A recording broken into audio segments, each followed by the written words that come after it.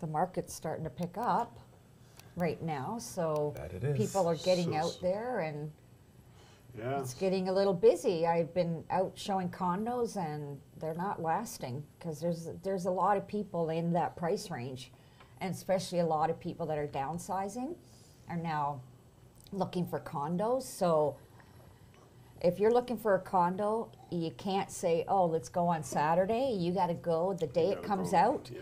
You have to. the most important thing is to have all your paperwork organized before you go out. Get your mortgage done. Get the commitment letter. Make sure everything is in place. Uh, you know, get your de- deposit in the bank because you know you have to be showing that deposit in your bank uh, because of this whole government FINTRAC thing, tracking your money. And, uh, you know, just be ready to make a move because they're, they're not lasting. Even like ones that need work that are like from this like condo that 30 years and has really had no no work done on it. They're they're flying. They're going.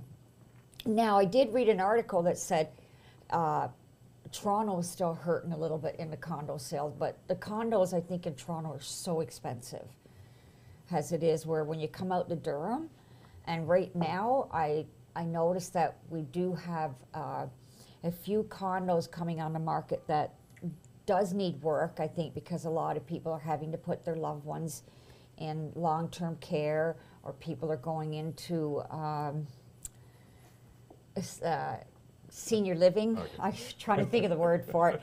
Senior living buildings. So you're getting uh, a few things coming up because of that, and people aren't scared anymore.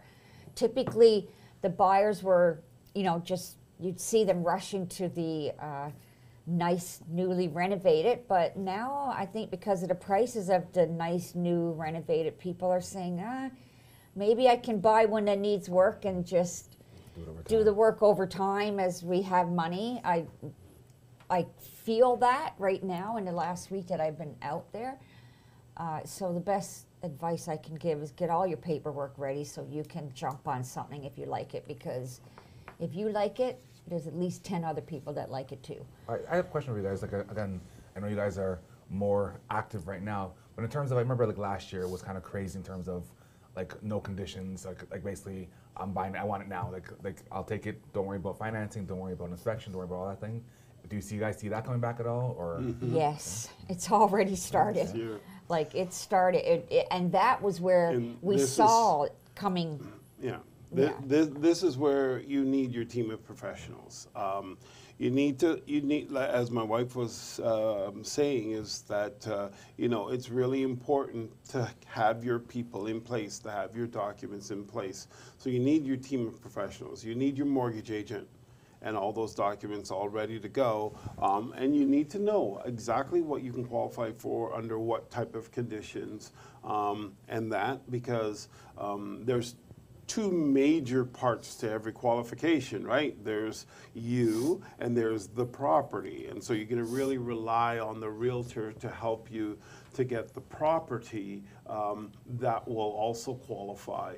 Um, you got you're going to have to have your home inspector ready to go because um, you may not have that opportunity if this is your dream home and it happens to be other people's dream home. Sometimes you may want to. Stuck. I'm sorry, guys. Sometimes you may want to get your um, your um, home inspection done prior to putting in your offer. So, given situations that happens. So, um, for example, um, if if there's an if there is not an offer night um, that that's there, and so you don't really necessarily have to go after a number of people.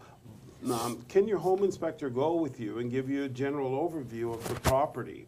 Um, so then uh, also, so it does cost money, but it's a little bit less because he's doing the quick inspection. So he has, you know, his tools to check for moisture and stuff like that, but he's not doing the full-fledged um, one getting up on the roof. You're going to have a few little um, you're going to have a few areas that aren't fully checked, but he can eyeball them and tell you if he would have a concern that he would tell you, well, no, I got to get up there. Um, do you have your lawyer in place? And why it's good to have your lawyer in place is because if you're buying a condominium, you definitely want to know about the financial health of the of the condominium. Um, board and, and management. And so uh, the lawyer typically they have like three days to check this over.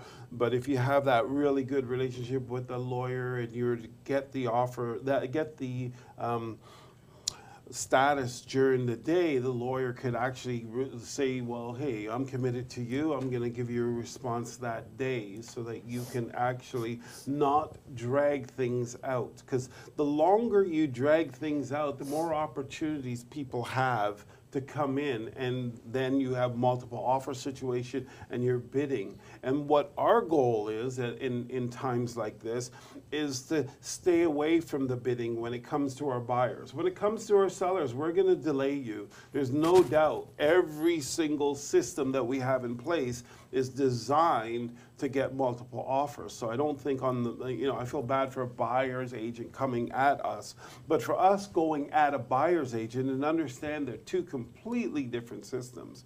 When we go, when we're representing the buyer, which is what I'm talking about now, and we're going for that home, we want to really speed the process up so that nobody else gets a chance to put an offer in or the agent the listing agent, if they have amazing systems in place to get multiple offers, then we want to um, not give them the time to do that. So having a lawyer in, in, in place that can maybe answer your questions because you're committed to them in that way.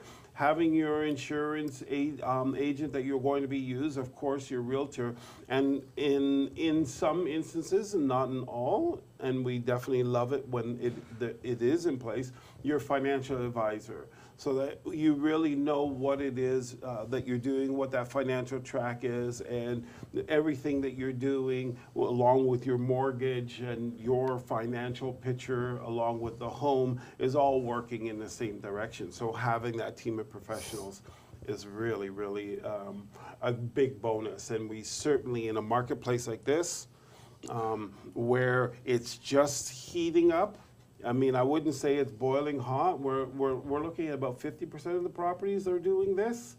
Um, and the 50% that are, are boiling and bubbling, I feel bad because it's basically it's a little bit random.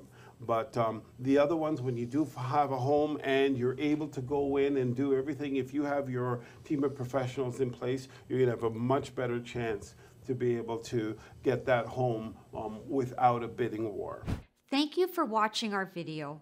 We hope you enjoyed it and please let us know your thoughts in the comments, as well as any questions you may have. We're live most Saturdays at 11 a.m. Eastern Standard Time, so make sure you tune in. Thank you again for watching and remember to like this video, subscribe to our channel, and click on the bell icon so you can stay up to date on all our future uploads.